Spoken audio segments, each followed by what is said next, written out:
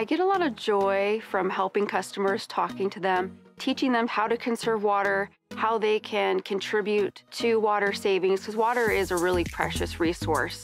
The mission of our conservation department is really to help our customers achieve their water efficiency goals, to help them through the process of our rebates, and help find resources that can help them along the way. It's really exciting because there's so many ways that customers can participate in our programs in a way that works with their lifestyle.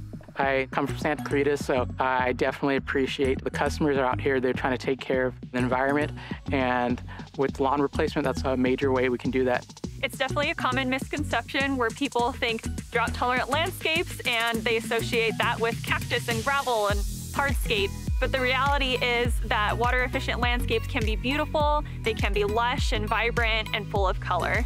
We at SCV Water are proud of our community for pulling through the last drought and becoming water champions and making conservation a way of life for everyone. There's an overlap between water conservation and rebate extra benefits.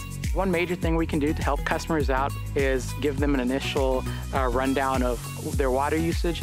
We offer them free irrigation surveys where we'll measure the landscapes, look at their irrigation system, and help try to match them to what programs might be best for them.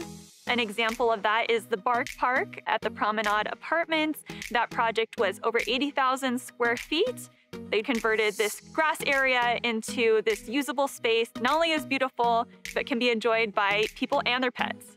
We at SCV Water, especially our conservation department, are extremely proud of our community for stepping up. My name is James. I am Dolores. My name is Siobhan.